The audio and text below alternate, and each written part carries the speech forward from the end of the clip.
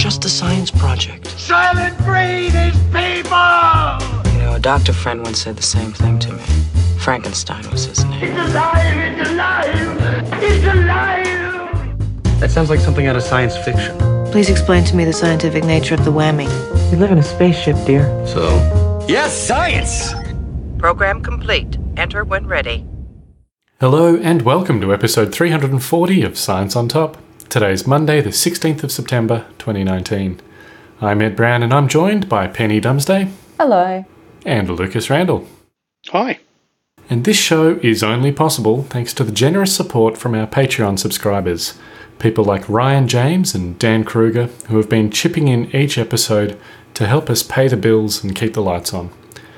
If you want to join such esteemed company, just head to scienceontop.com slash donate.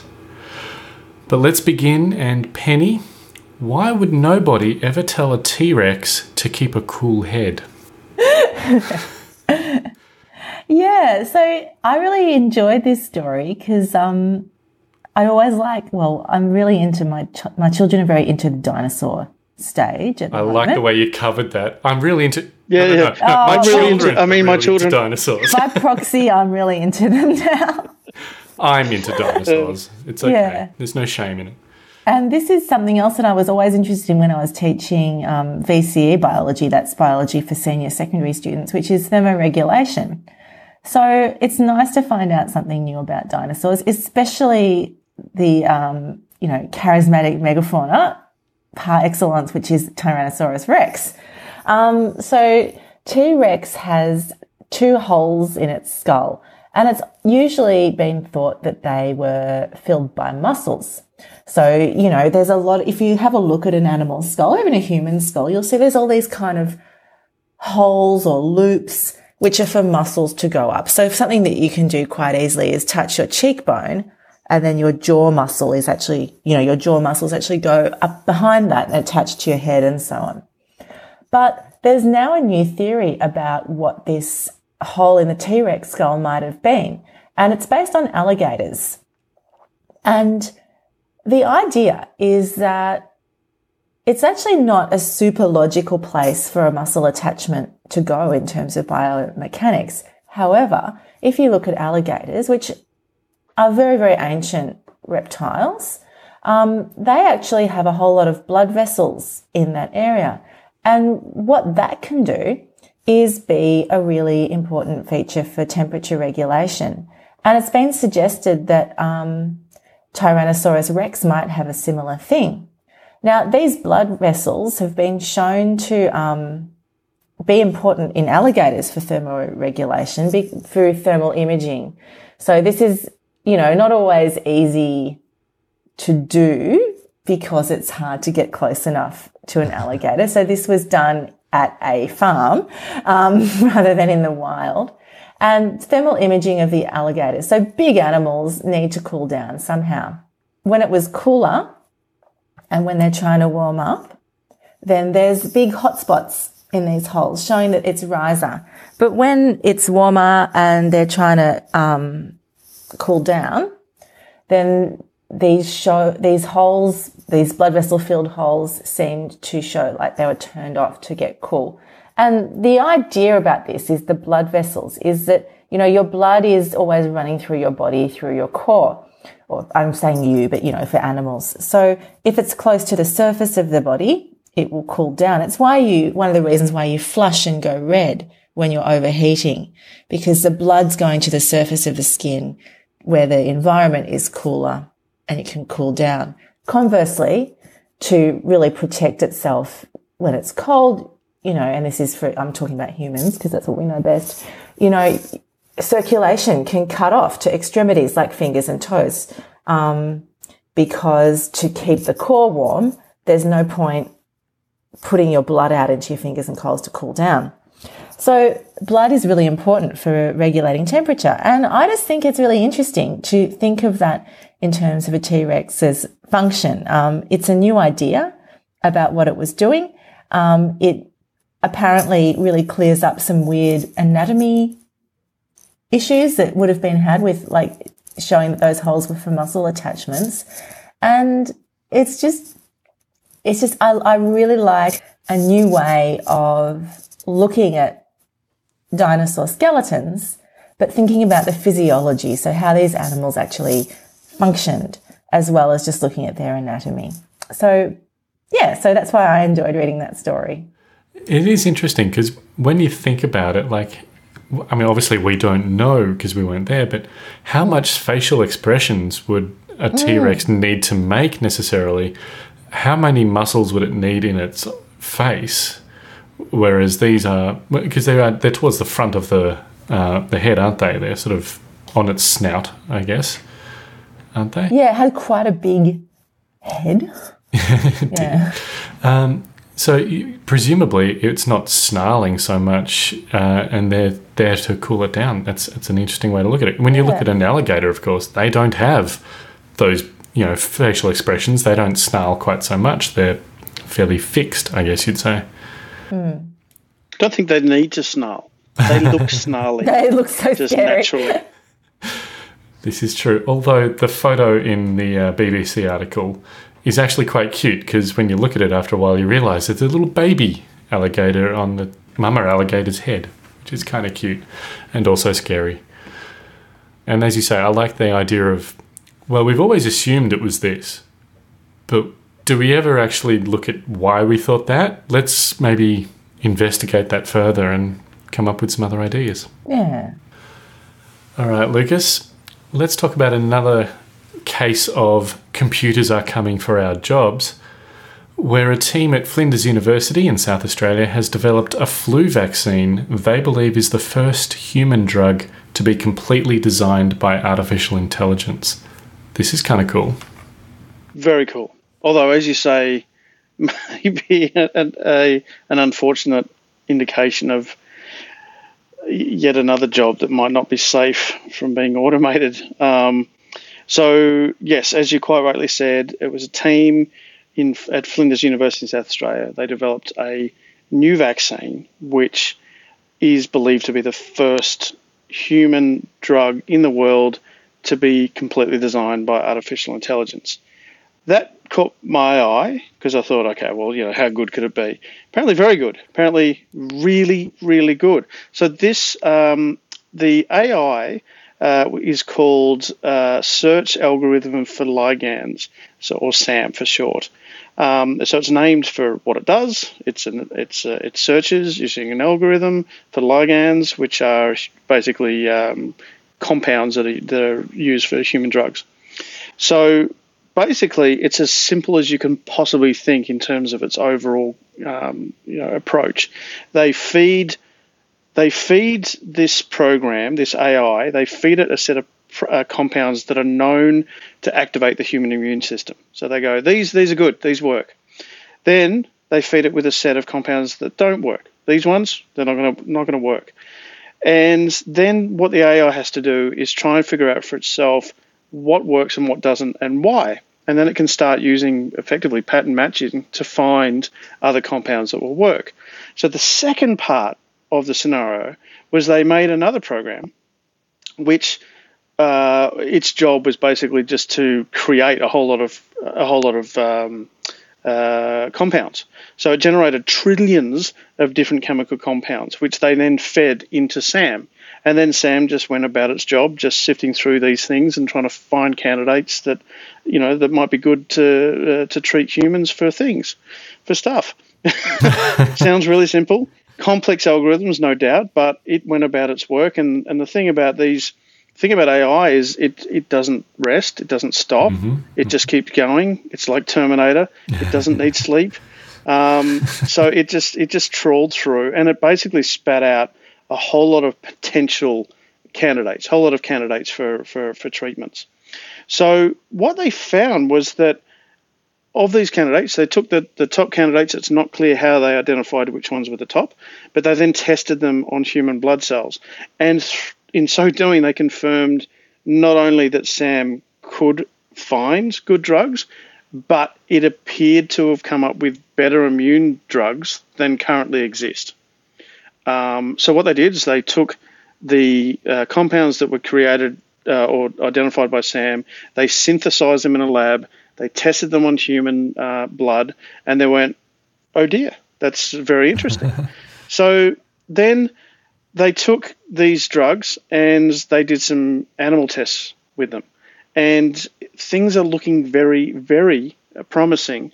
That particularly for seasonal influenza, these new uh, vaccines, based on the, on the compounds that they've found, may be significantly better than everything that's out there right now. Now, there's very good news. Obviously, this could shorten the the time frame and the amount of money it takes to discover uh, and develop drugs. So that this usually takes decades. So that's a really good thing. It'll save millions, hundreds of millions of dollars probably in that search.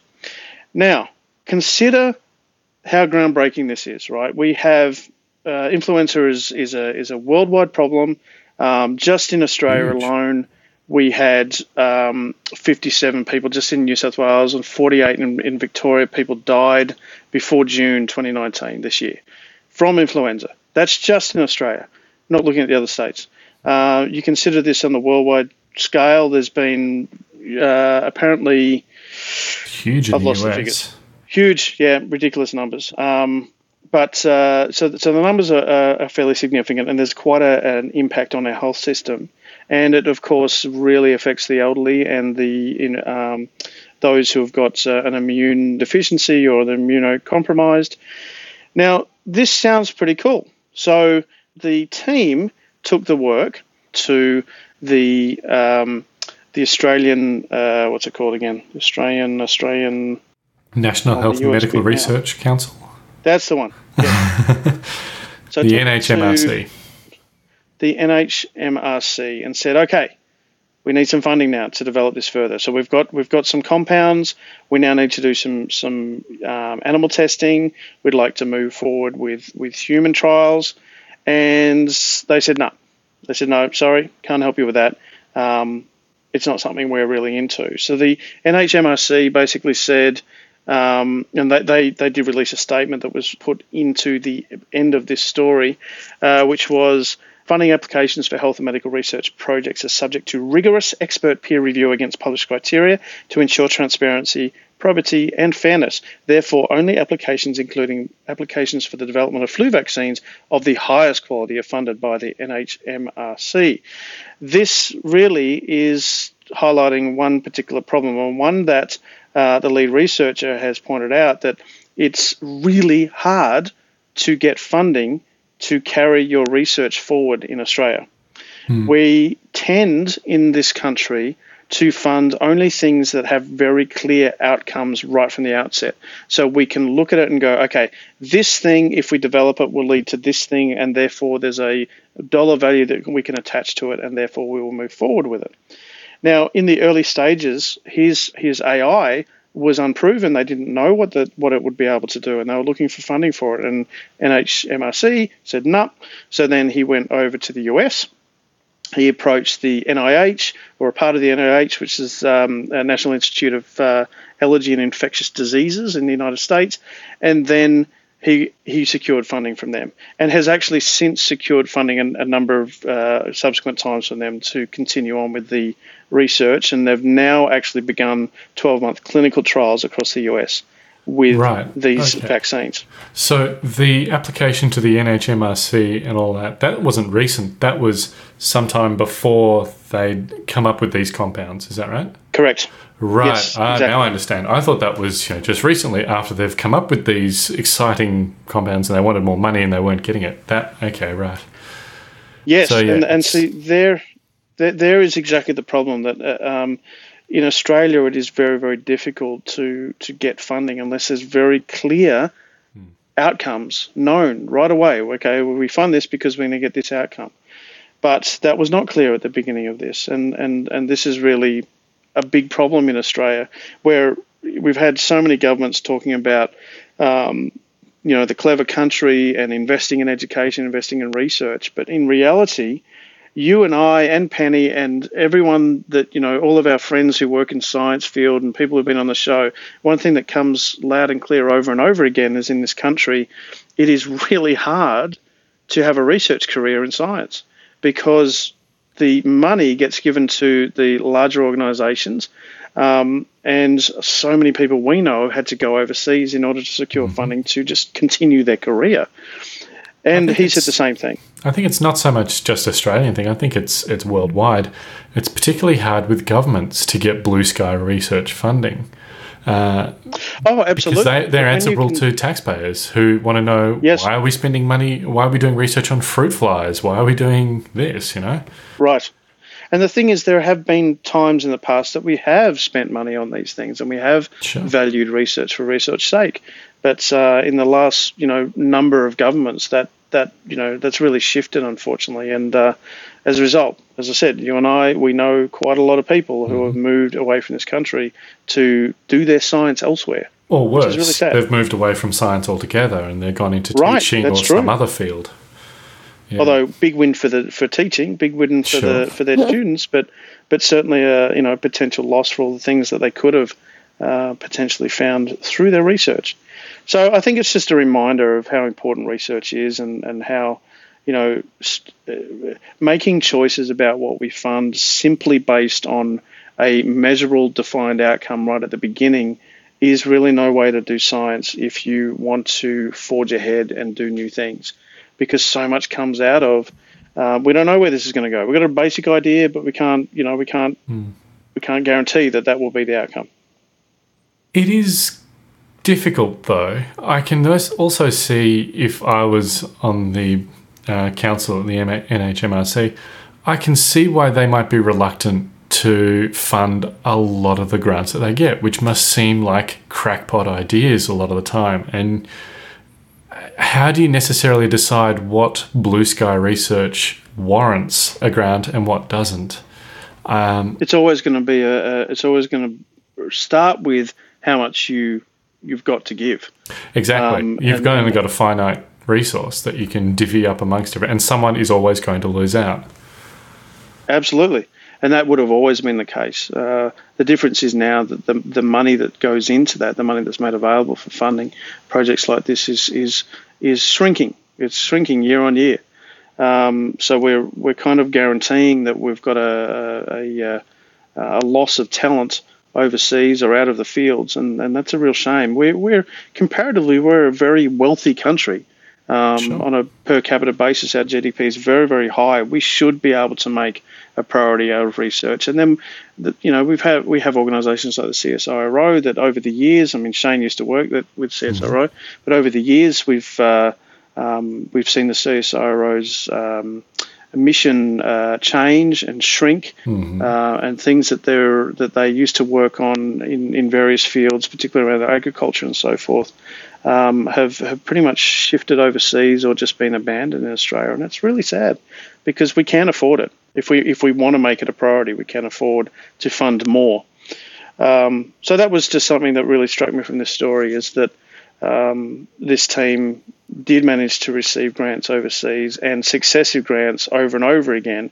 And so now he's had grants totaling over more than 50 million US dollars uh, by US standards, which, as, as, as he pointed out, is, is actually quite extraordinary.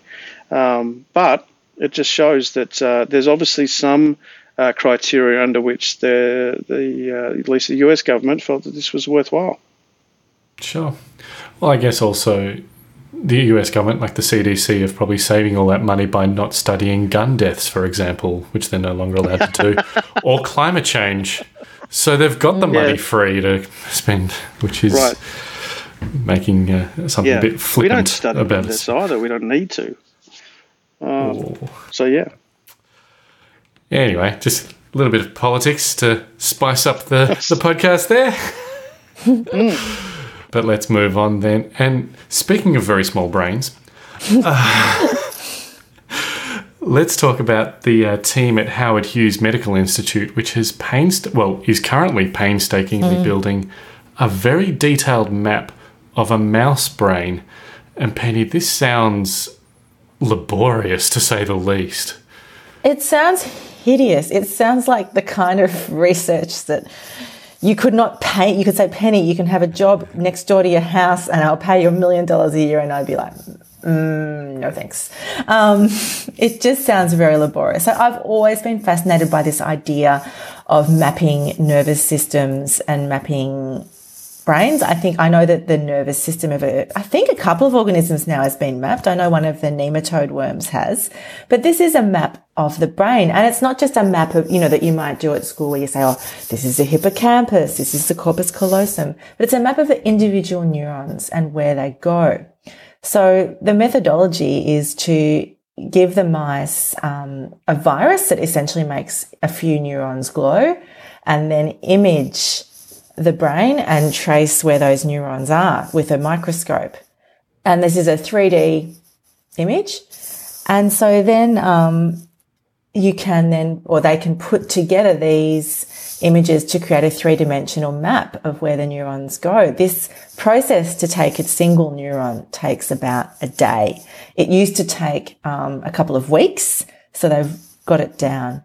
So um, there's been a thousand neurons tracked so far, um, traced so far, and that's on from 300 neurons in 2017. So, how many neurons does a mouse brain have? Oh, is a like- thousand nearly done, or no, a thousand is not nearly enough. It contains about 70 million neurons. So there's no way that this will ever be a complete map. But they suggest that maybe if they could map maybe like a hundred thousand, it's going to give a bit of a fuzzy view. So they compared it to, you know, a tourist map with big landmarks on it rather than your really detailed cartograph, you know. So wow? what can this tell us about mice brains? Um, it can give us a clue about how the brain is wired. So, you know, are, are neurons clustered into different categories? Is there a lot of communication from one area of the brain to another? Or is it kind of confusing? Does it seem to be going everywhere? So are the pathways not clear, you know, little goat tracks rather than highways? So I just think it's a really ambitious project. I think it's is. been, yeah. If so it's one day per neuron, and, they've got they're seventy looking at- neurons, or even just hundred thousand. even just 100,000. However, I'm guessing that if it's got down from two weeks to a day, Hmm. there'd be a hope it would get down from a day to sure. less. Well, it, it took us 10 years to map the human genome, and now you can do it in a day, sort of thing. So, yeah. yeah. So it's it's interesting. It's it'll be interesting to see what kind of research this is used. I mean, mouse models are very commonly used and popular. Um, I don't know how applicable it is to human studies or to other species that we're interested in the brain function, but um, it's just it's interesting to know more about mammals and mammal nervous systems and how they work in this kind of detailed level. Absolutely. That'd be very interesting. One to keep an eye on. But I think that's our show. Quick one today, but uh, interesting stuff, definitely. Still managed to get a soapbox in there. That's always good. We always manage to rant at some point. And as always, all the links we talked about are in the show notes and on the web at scienceontop.com slash 340. Big thank you to all our Patreon supporters. Uh, go to scienceontop.com slash donate if you want to sign up and throw a few dollars our way for each episode. Very much appreciated. And of course, thank you, Penny and Lucas. Thanks, Ed. Thanks, Ed. And thank you to everyone for listening. We'll be back again next week, putting science on top of the agenda. Join us then.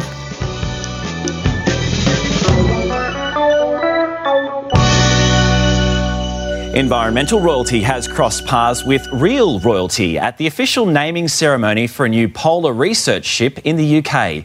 Andrew Lund explains. It's rare that William and Kate are not the most popular people at a public event, but today they came a very close second to Sir David Attenborough at an event just across the Mersey at the docks for the official naming of Britain's new polar research vessel. Now, you might remember this ship sprung to global fame a few years ago when they held a public naming competition for it. The popular vote was for Boaty McBoatface. That sparked something of a global phenomena. They opted not to go with that name, although it has been given to a scientific submarine.